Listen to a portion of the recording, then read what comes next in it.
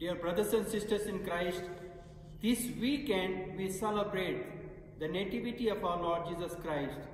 And so Merry Christmas to all of you. We are here to celebrate Christmas. There is a deeper joy that God offers us at Christmas.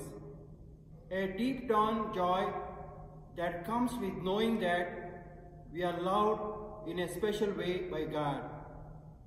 Now we are with Joseph and Mary in a church where once again, in a few moments, God the Son will come to us, this time in Holy Communion.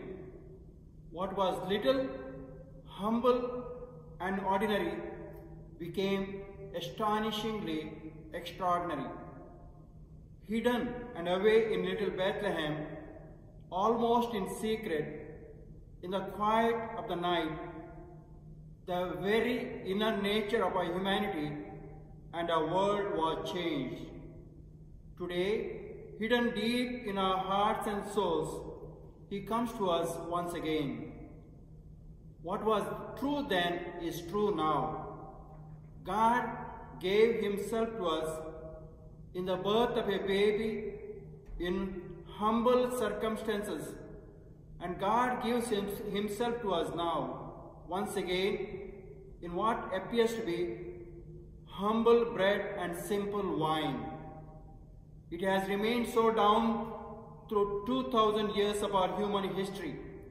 In every celebration of the Mass, God continues to come to us in humble and simple love.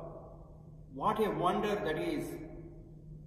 The birth of Jesus Christ has changed everything for us. Human nature has been invested with God's own divine life.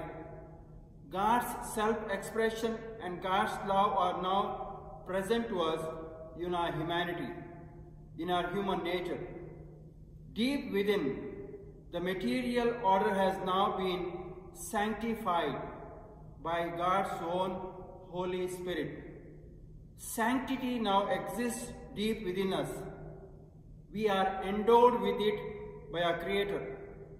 Our task, our work is to chip away all that disguises and disfigures our sanctity in order to reveal our true identity. The identity in which God sees us and to which God calls us individually and personally by name. That can be done only by working with God. We cannot do it on our own. Our choices have consequences. Consequences not limited to events in this life, but consequences with eternal implications. God has offered. Now we must respond. Everything depends upon the quality of our responses to God's offer, the quality and content of our daily decisions. God wants to be loved by you, and only you can love God just as you. No one else was ever you, and no one that ever will be can be just like you. You matter. You are important in God's eyes.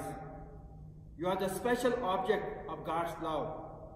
No one who understands that can ever say they don't matter, or that their lives don't matter, or that they are unimportant. God made you to be loved as you as you.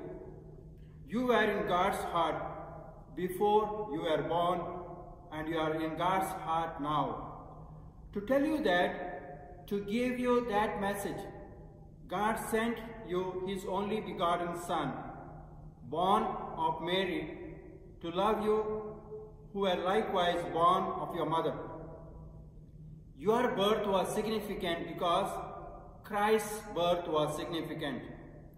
When you look at a picture of Mary holding her son, it should remind you of your mother holding you. There is a message in that image, a message from God telling you about who you really are.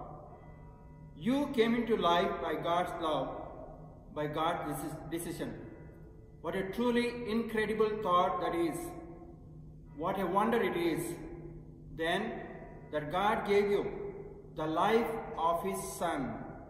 What a wonder it is that God our Father will, in the bread and wine we are about to place on this altar, to give you once again the life of His Son. What a joy that should give us. Each Mass is another Christmas. Each Mass is an opportunity for us to be the shepherds who heard the angels on high and for us to be the Magi as well.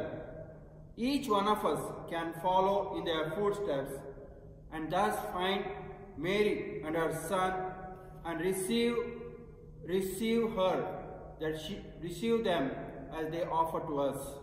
Her son conceived by the power of the Holy Spirit, one who is both Son and God and one who came to redeem us. Now we are with Joseph and Mary and, and Jesus in a church where once again, in a few moments, God the Son will come to us, this time in Holy Communion. Never say that you have nothing to give Him. Never say that you have no value or that your life is a waste. God has gone to great lengths, infinite lengths, to come to you looking for your love. You can give God no greater gift this Christmas than to give Him your love in return. And so, once again, Merry Christmas to all of you and God's blessings on you and your family.